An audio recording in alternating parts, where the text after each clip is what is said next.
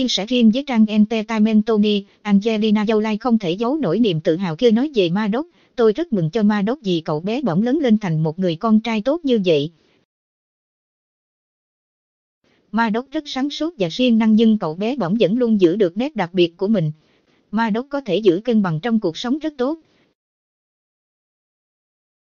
Angelina Jolie sung sướng đoàn tụ với con trai cả Ma Đốc. Angelina khen ngợi Madoc đang sống xa nhà. Trong khoảng thời gian quảng bá phim thế hệ, Angelina Jolie đều xuất hiện cùng các con, tuy nhiên riêng bác Tiên là không xuất hiện vừa đủ như các thành viên khác.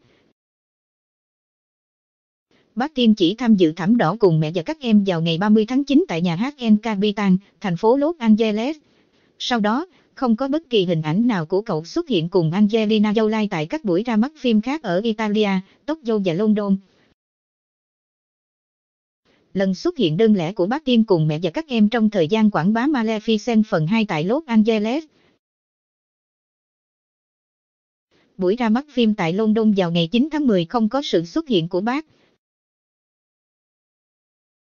Ngày 3 tháng 10 tại Tokyo, Angelina Jolie chỉ xuất hiện cùng con gái Yahara và Madoc. Buổi ra mắt phim ở Rome, Italia với sự xuất hiện của Silo và Yahara. Angelina Jolie luôn mang theo các con trong những chuyến làm việc tại nước ngoài, vì vậy sự vắng mặt của bác Tiên là một dấu hỏi lớn. Một nguồn tin tiết lộ với Hollywood Life, bọn trẻ luôn bên cạnh Angelina, chúng đã xuất hiện cùng cô ấy trong sự kiện chính ở Los Angeles rồi nên không nhất thiết phải xuất hiện nhiều lần nữa. Bác Tiên là người trầm tính và không mấy mặn mà với những sự kiện quyên náo mà yêu thích những công việc hậu trường hơn.